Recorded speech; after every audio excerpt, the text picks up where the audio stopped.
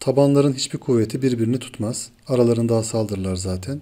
Burada üstlere baktığımız zaman ortak çarpan 12 var. 24 2 çarpı 12'dir. 48 4 çarpı 12'dir. 36 da 3 çarpı 12'dir.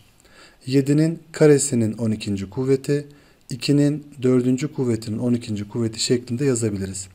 7'nin karesinin 12. kuvveti 2'nin 4. kuvvetinin 12. kuvveti 3'ün küpünün 12. kuvveti diyebiliriz. Burada 49 olur taban. 16 olur. Burada da 27 olur. Üstler aynı olduğunda tabanı büyük olan daha büyük olacağından dolayı en büyük A'dır. Daha sonra C'dir. Ondan sonra da B gelir. A büyüktür, C büyüktür B ya da B küçüktür, C küçüktür A.